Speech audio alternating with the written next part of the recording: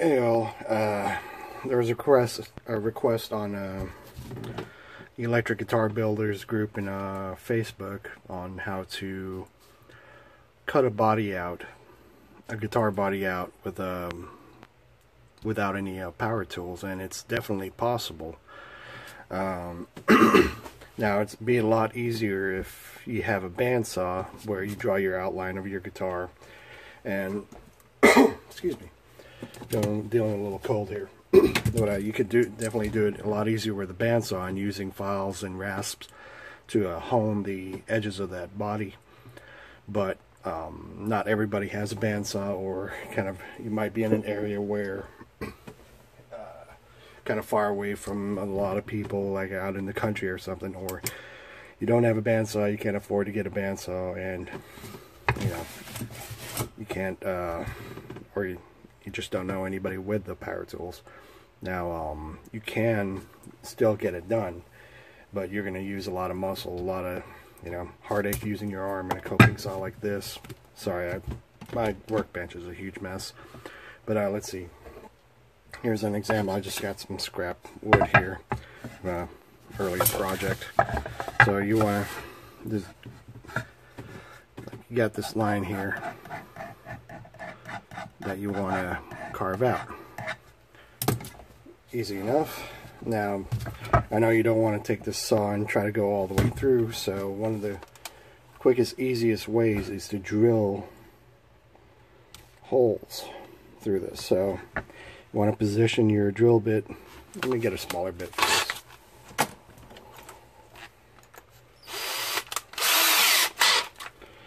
You want to position all these holes so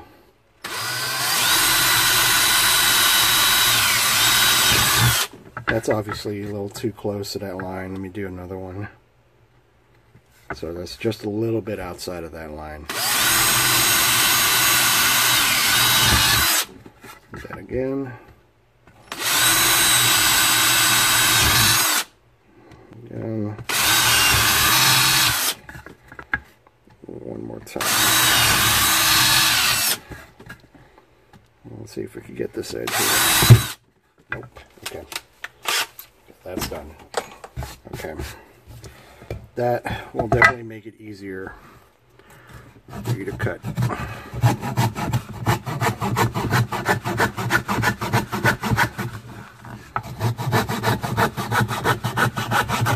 It's important to try to keep your saw as perpendicular as possible.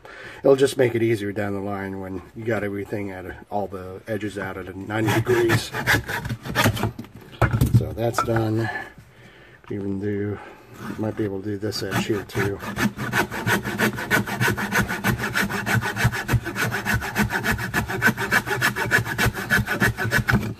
And the point of the drill bit of drilling the edges is to get as much material off so with your saw you have a lot less stuff to deal with and you can go on the side going around the body like that but this is just a small corner piece so that's not a big deal. Next file. Now, I've had this file for, I don't know, good 10, 15 years maybe. I've, my dad owned it before I did.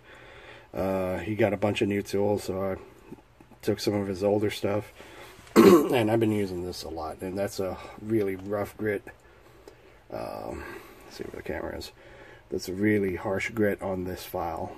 See, focus, focus.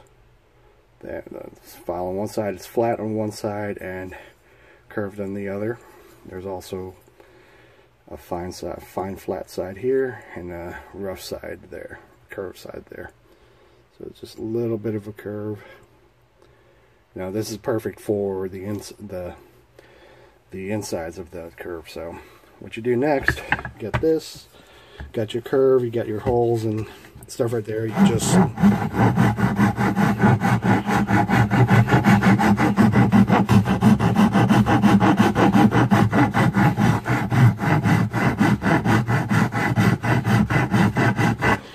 that for a while until your arm falls off and eventually you'll get there. now you could also get a rasp and I have no idea where my rasp is so um, I know it's somewhere here, but I'm not going to look for it. But, you know, if you have a vise, you could definitely just clamp your body in, get that big rasp, and go, go at it. Or, you could also use a plane, but uh, you'd have to set your plane up nice and even to get there. Like I just got this one from, uh, this is just a cheap one from, uh, from uh, Lowe's. And I just use this I don't use this for guitars. I just use this for household projects. So let me try and see if I can get a small edge on that. You could use that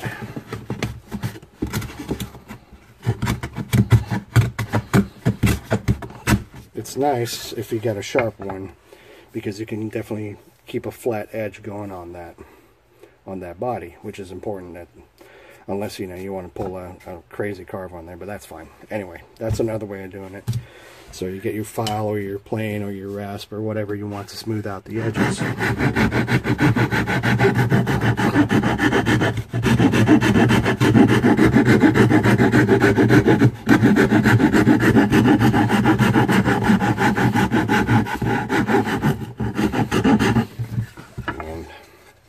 So imagine if this is perfectly smooth, which it's not.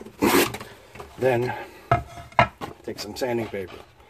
Uh, I like to file, since this is such a rough grit, I don't even know what that is, but since that's such a rough grit, it's I only get as close as possible to the line, leaving some meat in there for sandpaper. because these will leave, this this will leave deep gouges in there, so so get some sandpaper and block.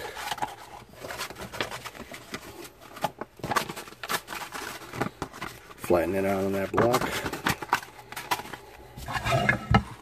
I'm not going to cut this up. I, this is new so kind of the hell with it.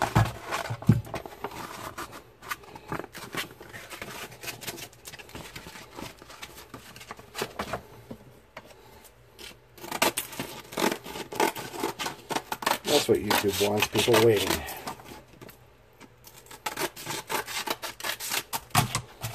Okay, boom. Be a lot easier. Um, what I like to do as well is uh, I use I have some spray adhesive. I'll spray this side, I'll spray that side, and then cut the edges so they're perfectly flat. You don't get any curves on the sides, but that's another thing. We'll deal with this now. So take your sandpaper. This is 60 grit, and just smooth out that edge.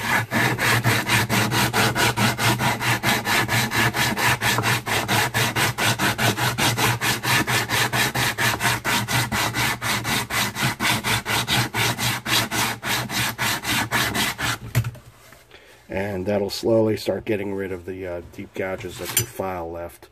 And uh, you just keep going um, higher and higher with the grits until that edge is where you want it.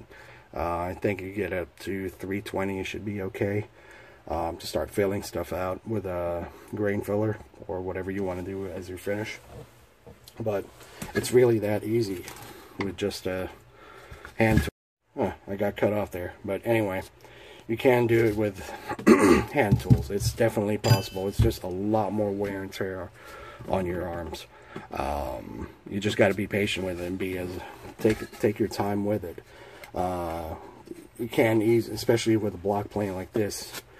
You can easily mess the piece up, especially if your blade is sharp. That's why I generally don't use that for things like this. Uh, unless it's a flat surface, then yeah, that's what I'm trying to true up. But the file, file, a rasp, um, and sandpaper, you can definitely get a lot of work done. Now, for the inside edges of the guitar, where you got that nice big curve, here's a sample. You get in here, you need a big dowel. Um, I don't have one handy here. Let's use this half inch dowel here, or what is this? Uh, it doesn't matter, but you know, get the get those big dowels at uh, Home Depot for a couple bucks. And all you do, take your sandpaper, wrap it around, and just finesse that inside corner. And what I also did was, uh, let's see if I can find one here. Give me one second. Okay, I'm back. Um, did find one. So it's about an inch and a half. Inch, inch and a half, I don't know. My math sucks, so. Anyway, what I did here, took some sandpaper. I think this is about a 80 grit, 80 to 100 grit. And I wrapped it around in an angle, in a 45 degree angle. And then before that, I sprayed some uh, some uh, spray adhesive on here and stuck that on there. And what you can do, just hold that and then go inside those corners. Now you can, for the larger ones, you can get some 2 inch to 3 inch uh, pieces like this. And it just makes, without if you don't have a spindle sander or something, this is definitely a lifesaver. And what I also did, I had another piece, but I threw it away a long time ago, is uh, I drilled a hole right down the center of this, try to get the exact center piece of this, drilled a hole, then drilled a uh, quarter inch bolt in the middle of it, tightened it down, and then attached it to the drill. Now, uh, that, I, I would only do that for um, the start of, of, your with your 80 grit with your 60 grit or so just to get most of the meat off but then do it by hand with uh, when you start going finer and finer grits. So you got more control over it. The using a drill make it go faster but you got a bit bigger chance of uh, messing stuff up. So all of this is possible with it. Now I had to have proof. that it is possible because I I cut this body out with a band with a bandsaw that I was that I got from Home Depot for 100 got cut out again anyway I cut this body out with a cheap Ryobi bandsaw and it was a hundred bucks this is mahogany so uh, I had to make sure not to go too fast with that little um, that little bitty uh, blade that's on there. You got to go slow with hardwoods because uh, those blades are mostly made for smaller projects. So, but I cut this out with that and then used files and rasps, a lot of sandpaper, a lot of time to get this done. And it was the same thing with this carve. It's not a perfect carve by any means. There's a lot of bumps and deeper spots and higher spots in this, but uh, you know, it's what I could do at the time, and it was hard to tell. This was actually my first, one of my first carved guitars that I did. So, and I love this guitar. It's just a really comfy guitar. I stole that. I definitely stole this from Kiesel. So, one day I'll get one of those guitars. Somebody loaned me four thousand bucks, but not sure what that is. But yeah. So yes, it is possible to carve a guitar without any power tools except I did cheat a little bit. The cavities for the pickups and the bridge and the neck pocket uh, were already um, routed out for me because I used uh, Warmoth. Paid 110 bucks, 130 bucks for a body, for a body blank that had all the pockets routed. So all I had to do was go in and cut the shape out and that was it. And that's mostly because I don't have all the templates, and they certainly make my life a lot easier when I want to build a guitar for myself. So, lessons learned, yes, you can carve a body out with a file, some sandpaper, and a lot of time. Uh, remember, just plan a long day when you're going to do this. Drills help. Put a dowel, get a big one of these big posts, dowels, whatever they're called, drill a hole through it, you can knock out a lot of wood with it. So, anyway, I'm going to clean my bench. See ya.